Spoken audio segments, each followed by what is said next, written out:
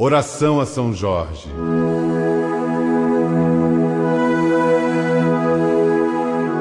Eu andarei vestido e armado com as armas de São Jorge, para que meus inimigos, tendo pés, não me alcancem, tendo mãos, não me peguem, tendo olhos, não me vejam, e nem em pensamentos eles possam me fazer mal.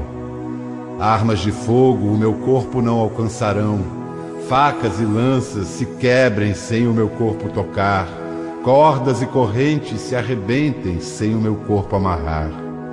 Jesus Cristo, me proteja e me defenda com o poder de Sua santa e divina graça. Virgem de Nazaré, me cubra com o seu manto sagrado e divino, protegendo-me em todas as minhas dores e aflições.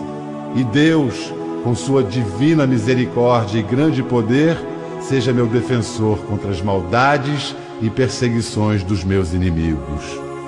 Glorioso São Jorge, em nome de Deus, estenda-me o seu escudo e as suas poderosas armas, defendendo-me com a sua força e com a sua grandeza, e que debaixo das patas de seu fiel ginete, meus inimigos fiquem humildes e submissos a vós.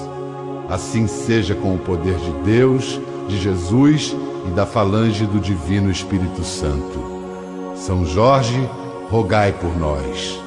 Amém.